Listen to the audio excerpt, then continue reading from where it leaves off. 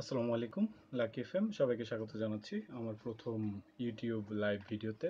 So মূলত আমি এখন যেটি করব সেটি হলো, আমার কম্পিউটারে দেখতে পাচ্ছেন বত্রিশ জিবির একটি ফাইল বত্রিশ জিবির একটি ড্রাইভ যেটি হলো ভাইরাস ইনফেক্টেড হয়েছে। সো আমি এটাকে এখন রিকভারি করব আপনাদের সামনে খুব সহজ ওয়েতে। সো দেখতে পাচ্ছেন এখানে প্রপার্টিজে বত্রিশ জিবি বা সাতাশ জিবির মতো ফাইল আছে। সো আমি এখানে রানে যাব। আপনারা দেখতে পাচ্ছেন রানে গিয়ে সিএমডি ওপেন করব।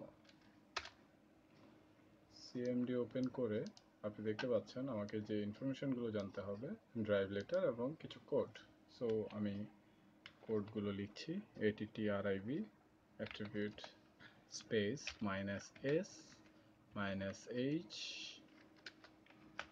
এবং মাইনাস এ তারপর স্ল্যাশ দিয়ে এস স্ল্যাশ ডি তারপর আমি ড্রাইভ লেটারটি লিখব এবং কোডটি আমি ডিসক্রিপশানে দিয়ে দিচ্ছি সো আপনার কষ্ট না করলেও হবে বাট দেখে নিন।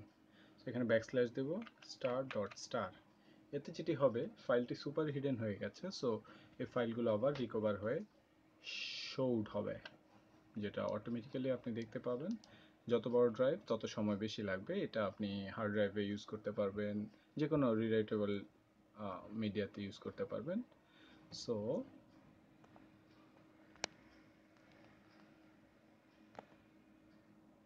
আমি কমান্ড দিয়ে এন্টার করব।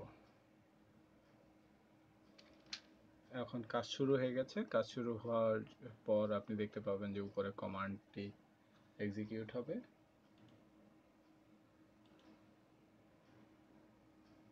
এবং কাজ শেষে এখানে দেখতে পাবেন ড্রাইভটি। ফাইলগুলো একটি ব্ল্যাঙ্ক ফোল্ডারে ওপেন হবে।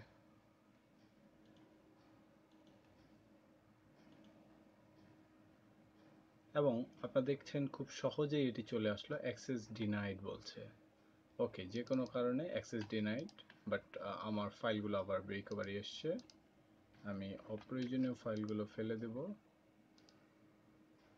দেখতে পাচ্ছেন? আমার প্রয়োজনীয় ফাইল এবং ফোল্ডারগুলো আমি কপি করে রাখছি। এখানে দুটো ব্যাপার। একটা হলো ফাইল রিকভারির পরও কিন্তু আপনাকে যেটি করতে হবে এখানে অবশ্যই ভাইরাস স্ক্যান দিতে হবে, বাট এটা হলো শুধুমাত্র ফাইল রিকভারিটা মানে শো করার জন্য একটা প্রসেস বাট আপনাকে ক্লিন আপ নিজে থেকে করে নিতে হবে। সেক্ষেত্রে আপনি বিভিন্ন ধরনের অ্যান্টিভাইরাস ইউজ করতে পারেন, যেগুলো দিয়ে আপনি ক্লিন আপ করবেন।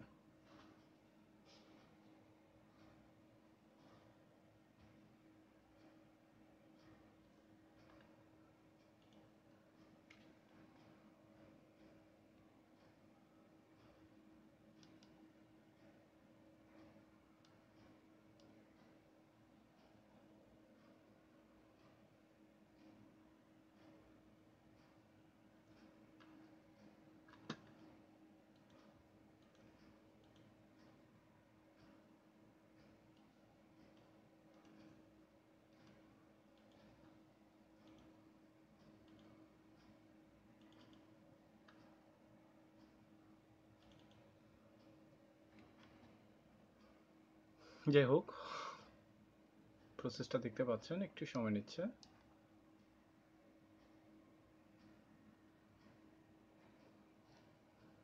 কনফার্মেশন চাইলো, আমি দিয়ে দিলাম কনফার্মেশন এখন আপনি দেখুন,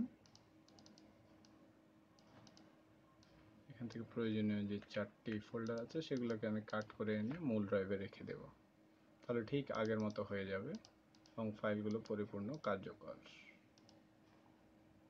এই অপ্রয়োজনীয় ফোল্ডারটি ফেলে দেব ব্ল্যাঙ্ক স্পেসে এবং খুব সহজেই দেখলাম আমরা যে কীভাবে যে কোনো হিডেন ড্রাইভকে আমরা শো করতে পারি ফাইল ফোল্ডারগুলো আশা করি আপনাদের কাজে লেগেছে।